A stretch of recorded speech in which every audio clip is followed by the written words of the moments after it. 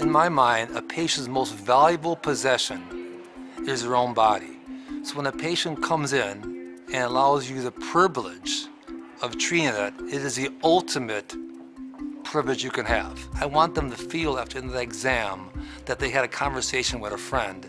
And I want to make sure they understand that our treatment plan is the same for you as it would do for myself or a family member.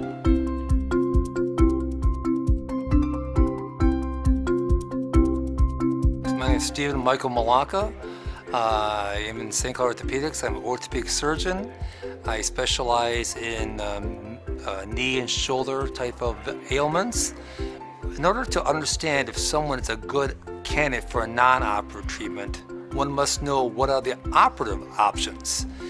Option package A, you could do this. Package B is this. Here's the pros and cons of both, and it's a it's a two-way communication. What is best for that patient? And what I mean by that, when I see a patient, especially a new patient, I like to sit down, face to face, not looking at a chart or referral letters if I had it, or looking at a cell phone, talking to them. My goal is to listen to my patients and find out what they need and what they cannot do, and hopefully attain those goals.